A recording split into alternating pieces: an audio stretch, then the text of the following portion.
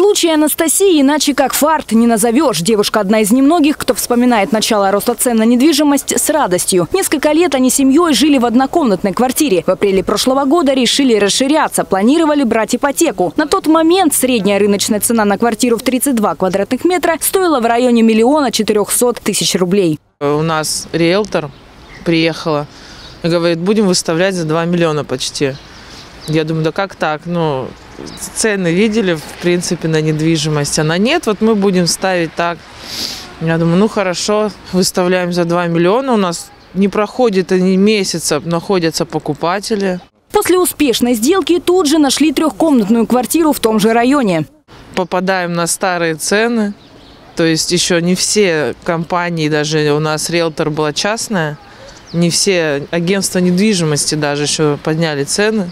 Мы, получается, забрали трешку за два с половиной миллиона, когда сейчас на момент у нас стоит у нас 4 миллиона. То есть мы еще и торговались с агентской конторой.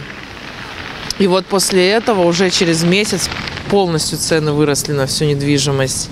И все же тех, кого заоблачные цены на недвижимость лишили возможности обзавестись новым жильем в разы больше. В социальных сетях возмущенные барнаульцы продолжают гадать, чего ждать дальше. Снижение цен или рост все-таки продолжится. К жаркому обсуждению подключаются и жители других городов края. Недоумевают, как жить, если взнос за ипотеку теперь равен зарплате. Ау, люди, вы зарплаты видели? У нас в Новоалтайске однушка 3 миллиона. Не пойму, что творится с ценами. Такое чувство, что все сошли с ума. Цены сравняли с мегаполисом. Тем не менее, Барнаул с низким уровнем зарплат. Вот бы зарплата так росла. Январь 50 тысяч, февраль 75, март 130. Когда в городе за неделю квартира возрастет на 600 тысяч рублей, это не норма. В Барнауле не должно жилье столько стоить. Специалисты отмечают, на сегодняшний день ситуация на рынке недвижимости действительно критичная квартиру в ипотеку однокомнатную за 2 миллиона рублей, из которых платеж по ипотеке составлял бы у меня там 10-12 тысяч рублей, но я бы жила в своем жилье, то сегодня такая квартира стоит 3 миллиона рублей, я должна буду платить 23 тысячи рублей за ипотеку, соответственно, мне проще снимать за 15 тысяч, 18 тысяч рублей, это мне дешевле будет, чем я буду платить ипотеку плюс коммунальные платежи.